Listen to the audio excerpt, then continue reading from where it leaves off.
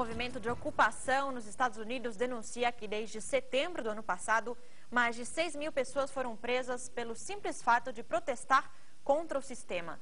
Um exemplo disso foi a prisão nesta quinta-feira de 37 integrantes do Ocupemos Wall Street, que protestaram contra o leilão de uma casa confiscada pela corte do Brooklyn.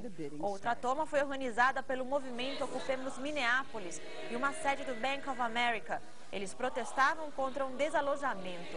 O movimento de ocupação nos Estados Unidos diz que a maioria dos detidos tiveram processos judiciais lentos e com advertências de penas maiores.